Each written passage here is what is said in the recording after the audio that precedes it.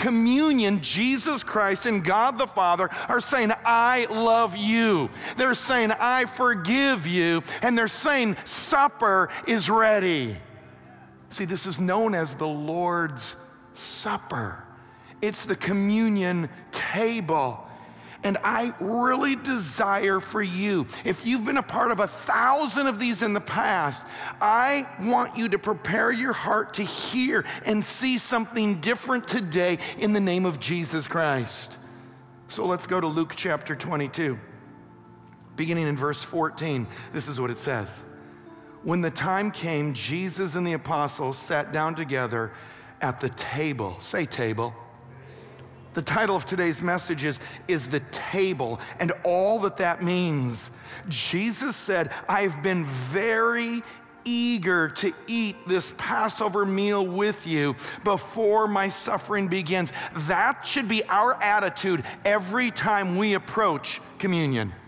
There should be an eagerness there should be a hunger. There should be a desire. There should be an excitement. There should be an anticipation of what is actually going to happen during this particular service.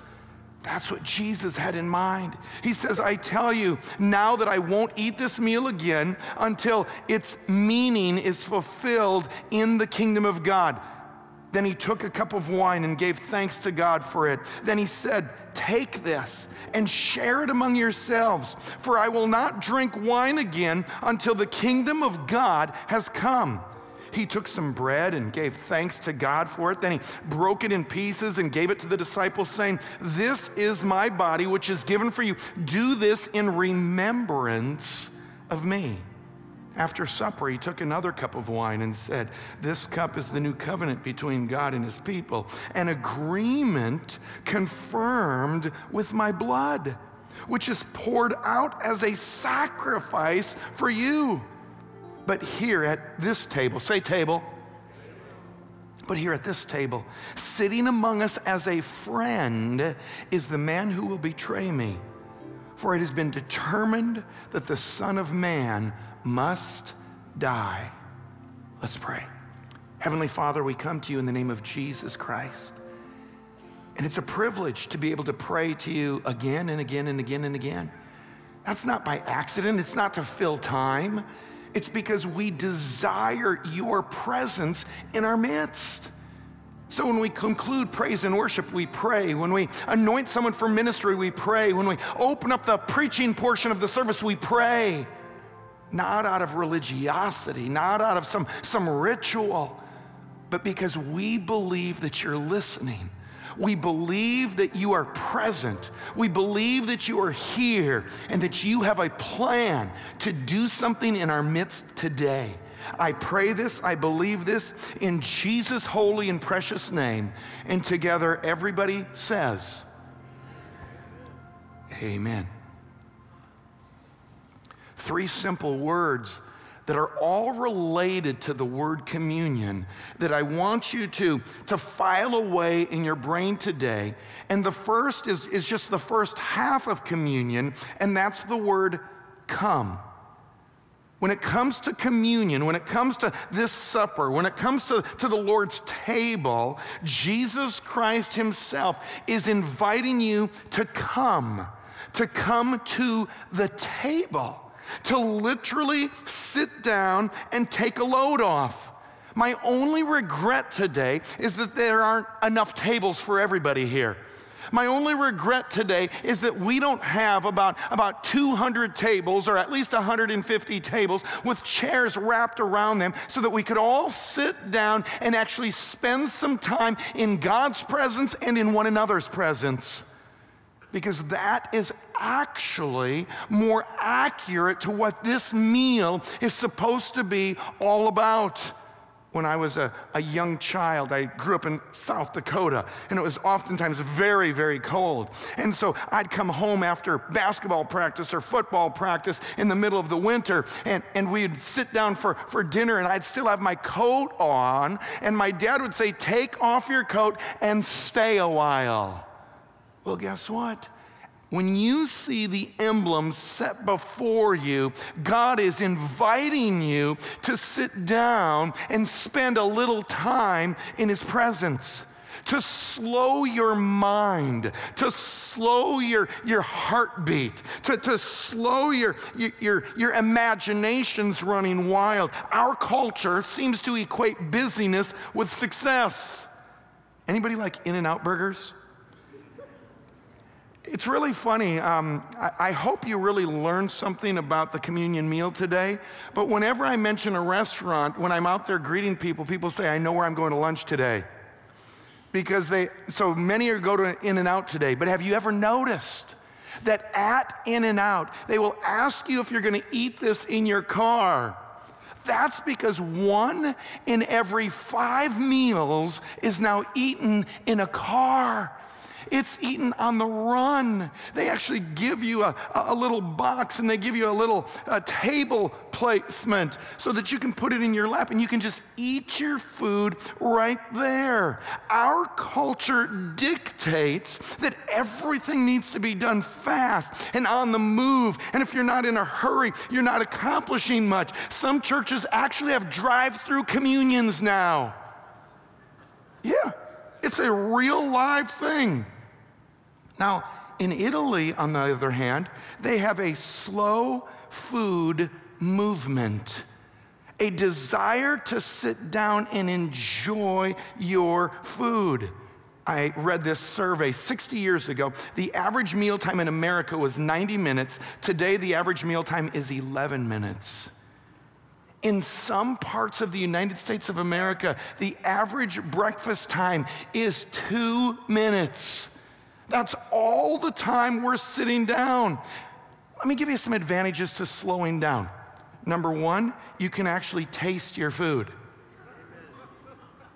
That sounds like a good thing, don't, don't you think? I mean, food is about more than fuel. You will hear me say that during a fast, if you're going to participate in the Daniel fast, that, that food becomes nothing more than funeral, or funeral. It's a funeral when you're fasting. It's definitely a funeral when you're fasting, right? See, we know, don't we, that food is supposed to be more than just fuel. We know it's meant for our enjoyment, it's meant for our pleasure, but you can't enjoy it if you're just inhaling it. We need to slow down. Uh, did you know that the longer you take to eat, you actually lose weight? You gain weight by eating quickly. It aids your digestion by slowing down when you eat. Communion is meant to be a full sensory experience. That means you're supposed to smell the bread. You're supposed to smell the, the grape juice, the grapes. You're, you're, you're supposed to it, eh, it eh, look at it and touch it and, and feel it. It is a full sensory experience because you're coming not just to a, a, an empty table, but a table that's full of food so that you can eat. How many have already eaten today? Let me see your hands. How many are going to eat later on today, this afternoon, tonight? See, everybody eats. Let me show you how important eating really is, not just to, to our physical well being, but I bet you most of you married people, your first date involved a meal. Amen. I like that. That must have been a good first date, huh? Some of you have closed business deals around a meal. After a wedding, there is usually a reception where people eat a, a meal of some kind. They've discovered that when children sit down five nights a week with their parents and sit around a table, that their grades go up, their drug usage goes down, their weight goes down, their mental health is better, and their family relationships are improved. In some countries of the world, a meal, dinner time especially, is treated as sacred. How much more important is it to treat this meal as sacred? Now, I've got nothing against having communion after a service. I've got nothing against having communion during the praise and worship time because it is an act of praise and worship. Those are both appropriate. But every now and then, we need to take time out and just have communion. It should be the focus. It should be what we're really thinking about because this is a spiritual meal. It's a place where we get to know God. Psalm 46:10 says, "Be still and know that I'm God." Many times during communion, we, we take a few moments and we contemplate our own lives and we think about our relationship with God. God wants to reveal something of His nature to you today. John 6 35. I love this verse. Jesus replied, I am the bread of life. Whoever comes to me will never be hungry again, and whoever believes in me will never be thirsty again. Jesus is saying that, that if you understand communion, if you really get what this is all about, all of your lusting, all of your, your battling, all of your striving, all of your desiring will be satisfied in Jesus Christ. And this is supposed to be a reminder of that, that life's not about your job. Life's not about the Silicon Valley. Life's not about the, the busyness and the hurriedness of life. Life is all about your relationship with Jesus Christ. And so, so communion is a time to come to a table, come to a meal, and come to Jesus Christ Himself. Come to Jesus. In 1939, a man by the name of Andrew Blackwood said this The Lord's Supper should be the crowning service in the church and thus be earth's nearest approach to heaven. The nearest approach to heaven. See, what's interesting is, is some denominations believe that the bread and the grape juice literally become the body and blood of Jesus Christ. Some fellowships, like our own, believe that it's symbolic.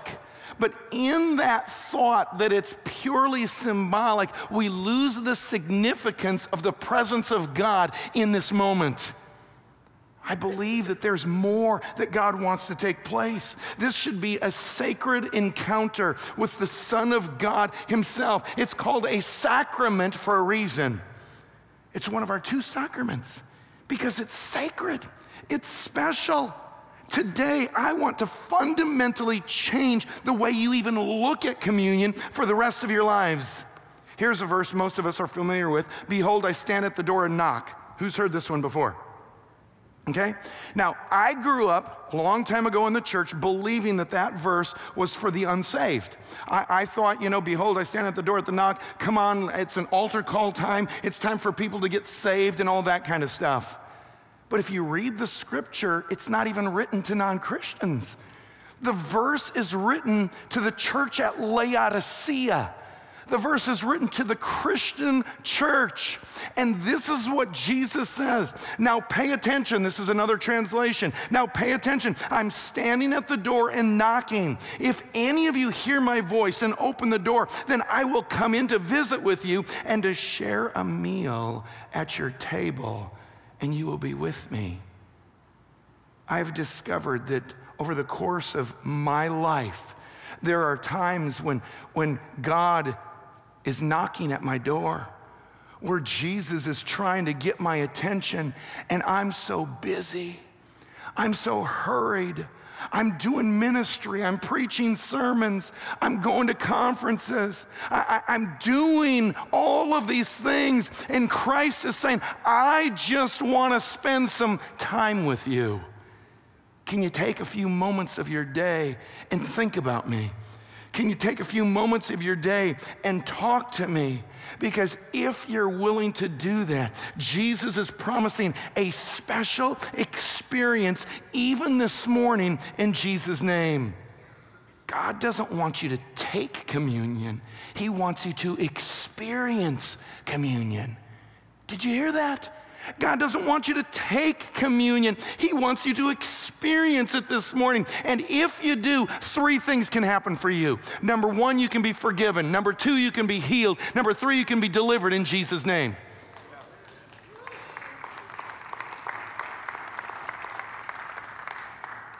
Wow. That can happen during communion? Yes. This isn't just physical food, this is nourishment for your soul. We need to understand that, that, that God wants to forgive us of all, say all, all of our sins. So I find that people land in one of two camps. Camp number one is I don't need forgiveness. If you're here and you don't think that you need forgiveness, let me just say that the Bible says that all have sinned and come short of the glory of God that every single human being has sinned and fallen short of the glory of God. That's what it says in Romans 3:23. It also tells us in 1 John chapter 1, speaking to Christians, that if you say you have no sin, that you're lying. So every single one of us this morning needs forgiveness. There's something in our hearts, something in our minds that, that needs to be repented of. It needs to be flushed out of our system. It needs to be washed away in the name of Jesus Christ. Psalm 130, verse 4 says this But with you, God, there's forgiveness. See, I don't tell you that, that you have sinned because I'm trying to beat you over the head. I'm giving you good news. You have a fatal disease, and God wants to cure you in the name of Jesus Christ. That's fantastic.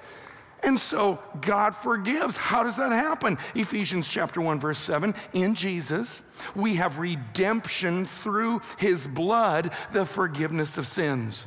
In other words, no matter how far you are away from God or how close you are to God, the simple gospel story is that Jesus was perfect and he paid the price on the cross.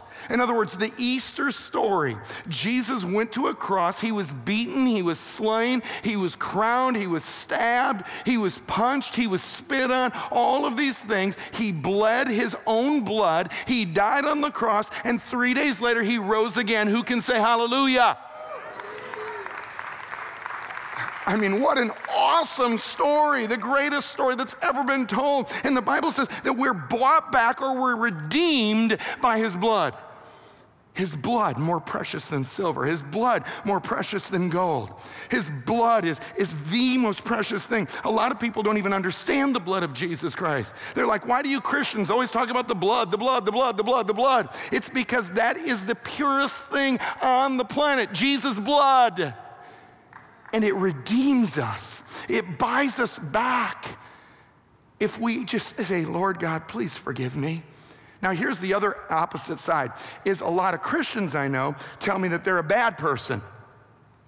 They're wallowing in guilt for sins that God has already forgiven you for.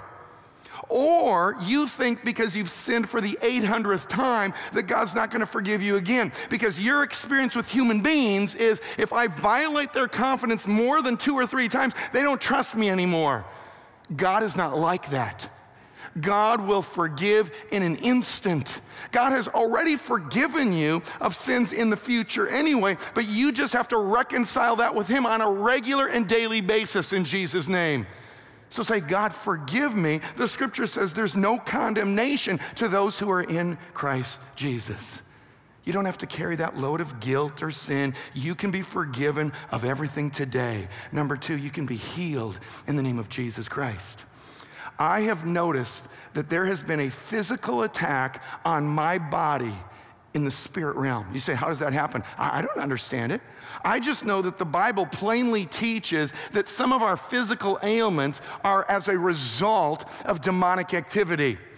And I believe that the devil is trying to take leaders and people out he, I believe he does not want the gospel to move forward. And this is why this is a reminder that because of what Jesus Christ did, we can be healed in the name of Jesus Christ. I've seen more miracles happen at communion than any other part of service I've been a part of. It says this in 1 Peter 2:24, Christ carried our sins in his body on the cross. We already talked about that. So we should stop living for sin and start living for what is right. In other words, God wants change to take place. He wants us to start growing, what we've been talking about all summer long. And you are healed because of his wounds. See, we, we neglect that second part so often. God wants to heal our physical bodies, He wants to heal our minds also. That includes our emotions, that includes our addictions.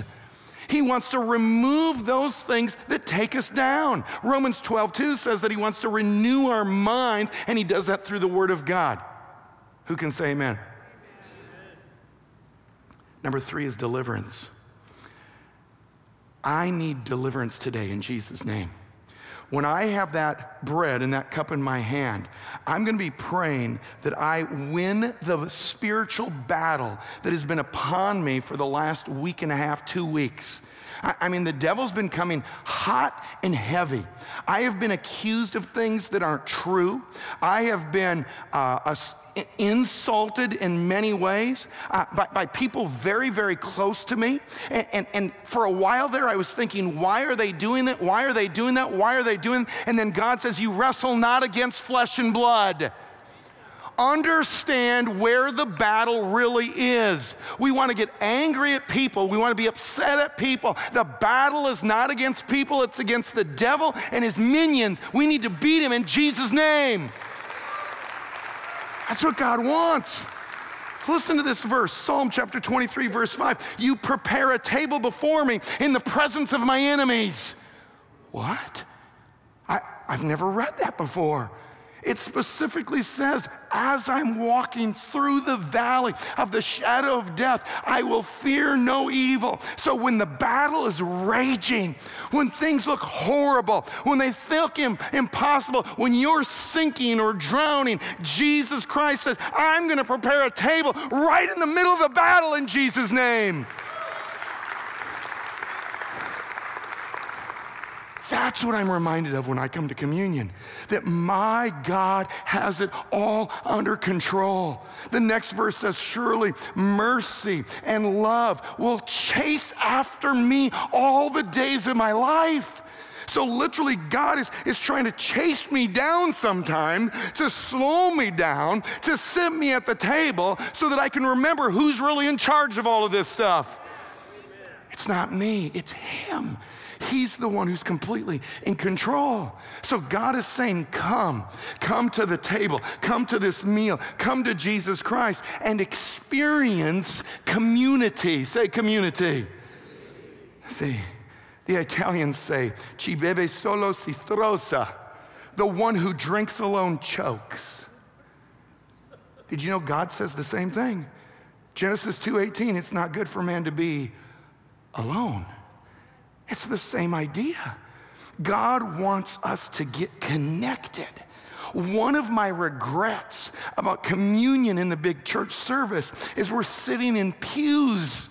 This is not how it's supposed to be done. It's not you looking at me. We're supposed to be eye to eye looking at each other sharing our stories, sharing our lives, communicating. I desire that every single person in this church be a part of some kind of life group, which is nothing more than a small group where people in, in groups of four or six or eight or 12 get together and begin to share life with one another. Pastor Matt has, has trained 122 uh, life group leaders for beginning this fall, and you can have communion in your life group. Now, before you say, oh, Pastor, that's sacrilege, understand it's not sacrilege. If you read Acts chapter 2 and Acts chapter 5, you will discover that that was happening in the early church. People were connecting with one another, they, they were fellowshipping around a table. I, I need you to understand that the word communion in First Corinthians is the Greek word koinonia. In other words, communion and fellowship are the exact same Greek word. Communion's about fellowship. It's about getting together. It's about sharing our lives. Verse 17 says this Take this cup, it's a cup of wine, and share it with one another.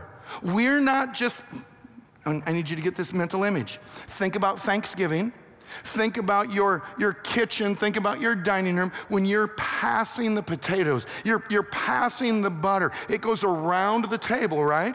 And, and then it comes back to you eventually. When you're passing food, we're also passing bits of ourselves with every word and every story we tell. See, God's genius. This is no accident, no coincidence that one of, of our sacraments is based around a meal. Important things happen around a meal, fellowship happens around a meal. So, what does God want? He wants us talking.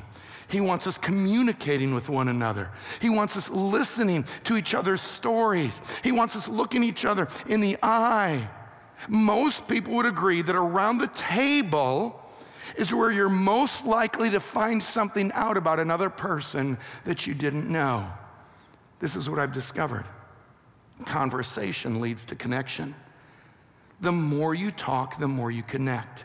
You start sharing your struggles, your victories, your worries, your desires, your dreams.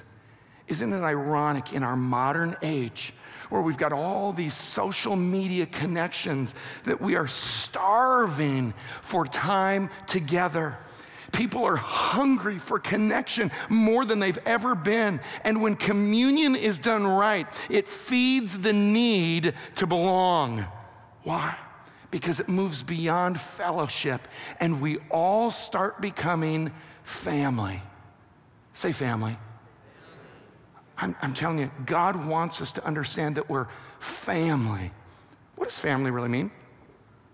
Well, it's around the, the dinner table that I learned my identity. It's around the dinner table that I learned that I was a Van Kempen. It's around the dinner table that I learned that I was of Dutch and Norwegian heritage with a little German thrown in. It's around the dinner table that I learned that, that I was a lefse eater a krumkake eater. I know that sounds terrible, but it's actually pretty good, just so you know. A lutefisk eater. Well, I rejected that one, just so you know. Okay? I, that's where I started learning my identity. I remember raising my children, having them sit around the table, and it's around the table that we said Jesus Christ is number one in our family. That's where, where we would pray and I would not allow, listen, listen, I would not allow my children to do a rote prayer. There was no, come Lord Jesus, be our guest, let these gifts to us be blessed in Jesus' name, amen. It wasn't a competition to see how fast we could say the prayer, and, and, then you just dive in and eat. Every child had to learn to pray a unique prayer every single time. Why? Because we were talking to a real God, a real person. We learned that around the table. We showed love and respect for each other around the table. We, we, we shared our love for the word around the table. We were positive people around the table. No whining, no excuses around the table. To come to the communion table is to discover who God is and who you really are. See, this is where you find your identity, is at the table. Unfortunately, a lot of our identity is in what we wear. It's in what we drive, it's in our jobs. I'm saddened for, for the younger generation in that, that what is pushed in front of them is, is that you have to be in a reality television program or, or, or you have to be you know, famous in some way. Or, or have you seen the, the show that's on right now, Boy Band? Do you really want one of your children to be in a boy band? And the reason I ask is have you noticed that, that two American singers have just committed suicide in the last month? At 41 and 39, something like that? Lead singers, they have all the money, all the fame, everything this world has to offer, and they kill themselves. And that's what our culture is telling our young people is important. I'm here to tell you, it's this table that's important discovering who Jesus Christ is, what was accomplished through his broken body, what was accomplished through his spilt blood. At the table is where we learn who we are, who we belong to, what we're called to, and what we can be in the name of Jesus Christ. So don't forget stories. In the church, we call them testimonies. See, the Bible's not a book of doctrine. You guys understand that, right? The Bible's a book of stories. It's about the story of Joshua, it's about the story of Noah, about the story of, of Rahab, it's about the story of David and the story of Jesus. It's all about stories. That's how we get the gospel out. It's not a set of rules and regulations. People reject rules and regulations. It's about stories. What's happened in your life? Let me hear. What has Christ done for you? And when you share your story with your kids, they're gonna wanna become Christians. When you just tell them rules, they're gonna rebel. I'm here to tell you, kids want to know what happened to you. Why is Jesus so real in your life? The Pharisees lived by rules and regulation, that produced exclusion. Jesus lived by love and grace, and that produced inclusion. So, what am I saying? That there's a place at the table for you. There's a place at the table for you. There is always a place set for everyone. I don't care what you've done. I don't care how far away from Jesus Christ you feel today, there is a place at the table for you. Jesus embraces more than the nuclear family. Listen, listen, listen. Jesus actually rejected his own family at times because he was trying to bring people in. Those who feast at Jesus' table become a new kind of family. When we understand communion, it obliterates dissension, tears down walls, ignores bloodlines, and it ends divisions. Everyone at the table is a part. Everyone at the table is equal and accepted. We are the ultimate blended family. So, fellowship table, family table, forgiveness table. This is the missing element in most churches we've not forgiven each other. Can you imagine growing up with your brothers and sisters and never forgiving them? You can't spend time at Thanksgiving or Christmas if there's dissension.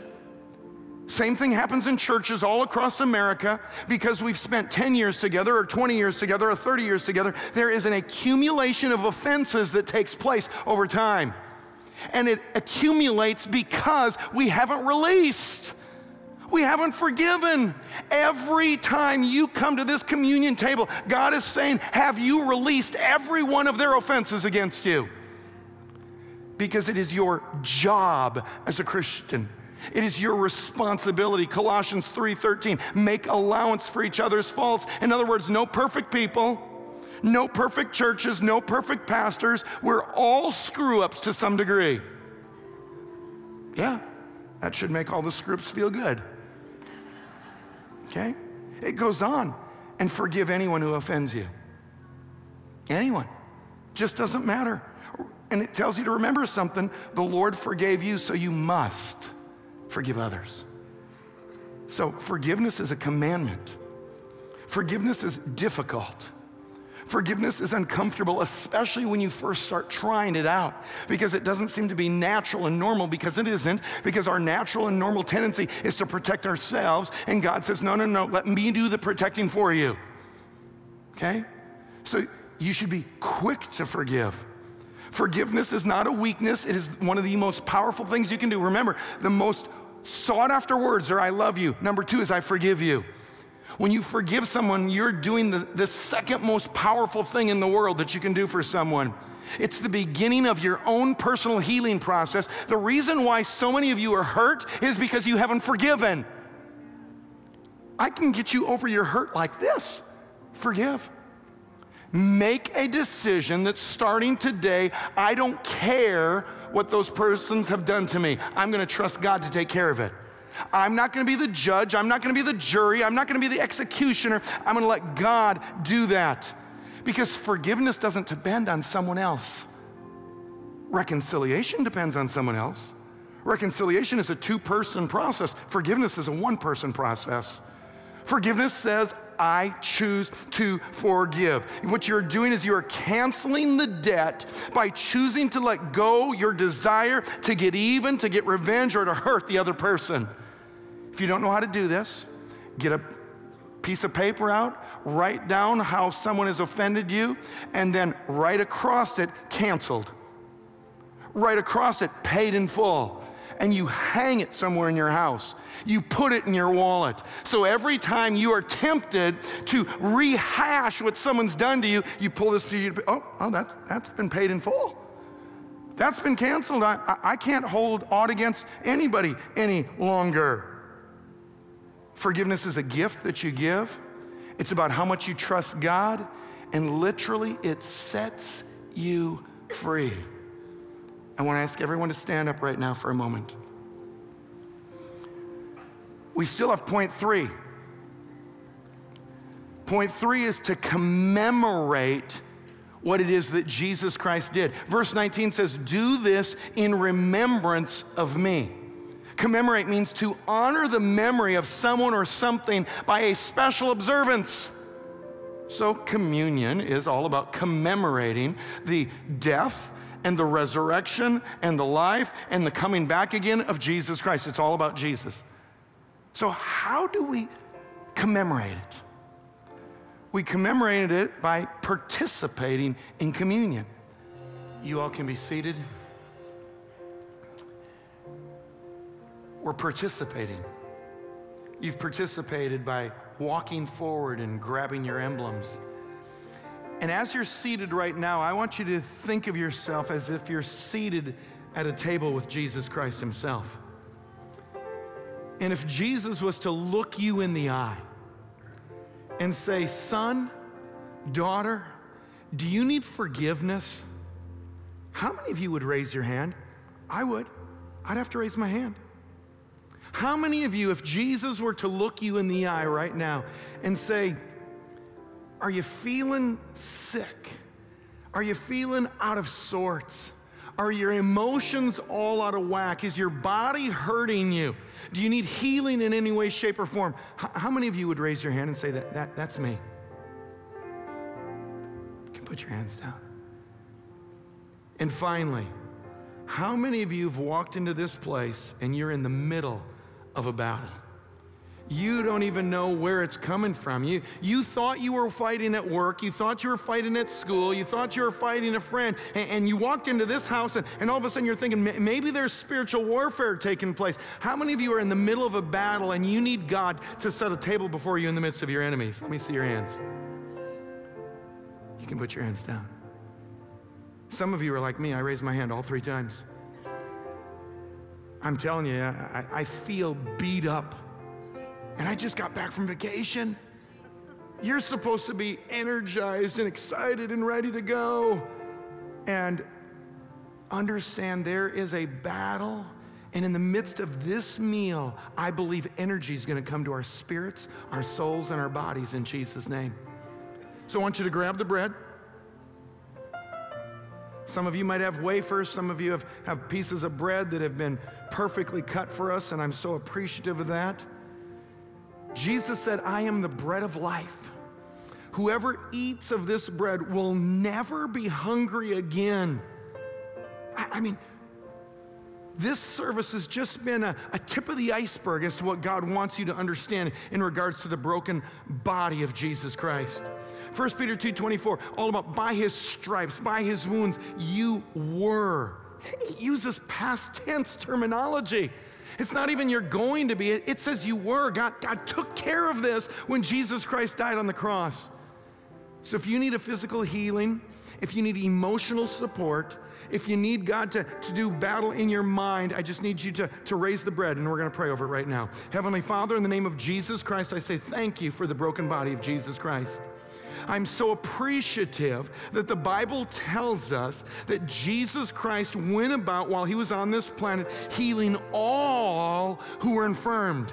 Every single one that he came in contact with that, that needed healing, he healed them miraculously in his name through his Father. So I'm praying today, Father God, that you do a miracle in our physical bodies.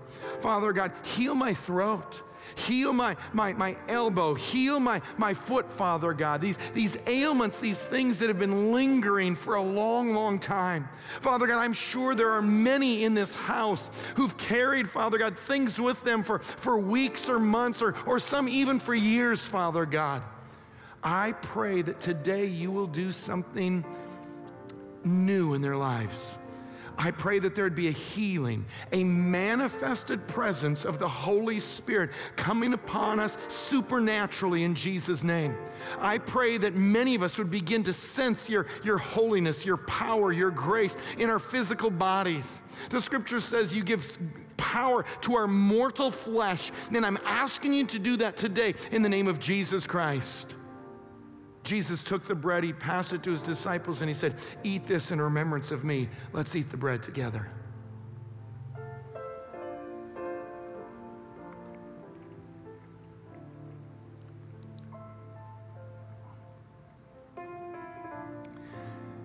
Now, if you've got a grape or a cup of juice,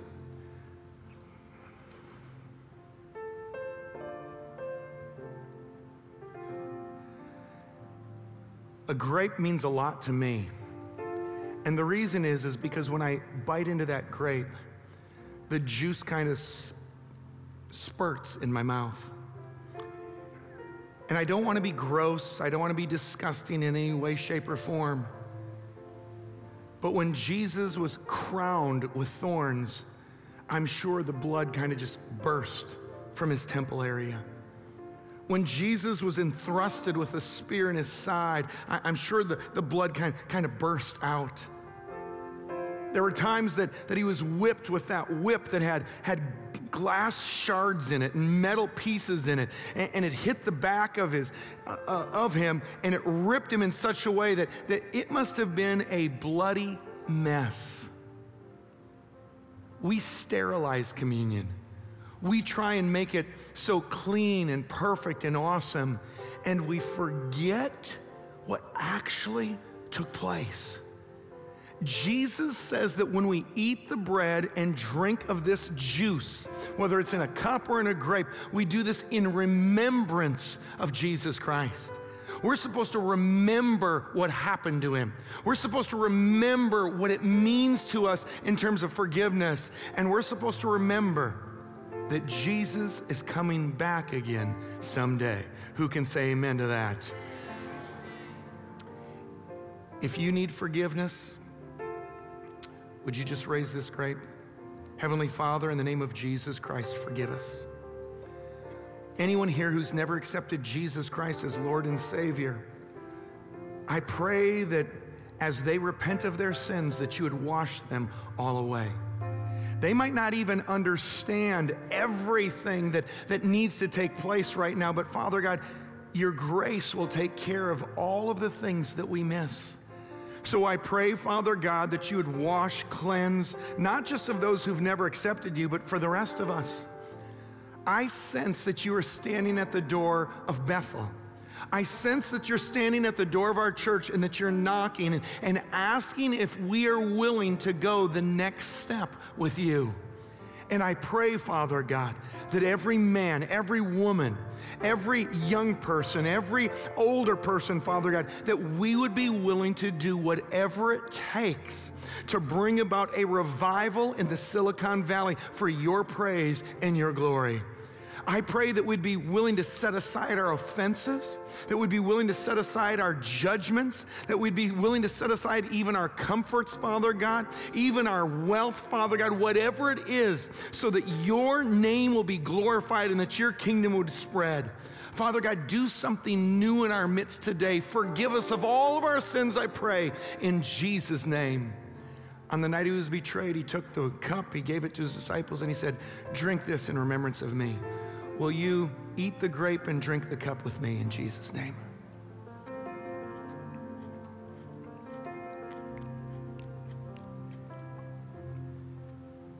Would you stand with me, please? I would like to invite um, prayer partners, elders, pastors to come to the front in case anyone would like further prayer. But I want you to know two closing things you are not done with communion until you've celebrated to some degree. The word Eucharist literally means thanksgiving. It, it, it's been ironic in my communion experience that for the most part, it's been a, a solemn ceremony throughout. And I just would like to close with a thanksgiving to God. I would like to close with a, a celebratory shout in your, in your voice, in your step, in some way, shape, or form. John Calvin said this Jesus gave us the blood of Christ in sacrament to exhilarate our souls. Our salvation, our healing, our deliverance comes through a God who comes to eat with us at a table and to feed us his very presence. Let me close with this. Jon Miller was an announcer for the Baltimore Orioles for a number of years, and he had a three minute timer. And that timer was there to remind him to say the score every three minutes. Communion is a reminder to communicate to you the score. Jesus wins, devil loses. Jesus has already won, the devil has already lost. So, what you prayed for today, what you believed for today, is yours in the name of Jesus Christ.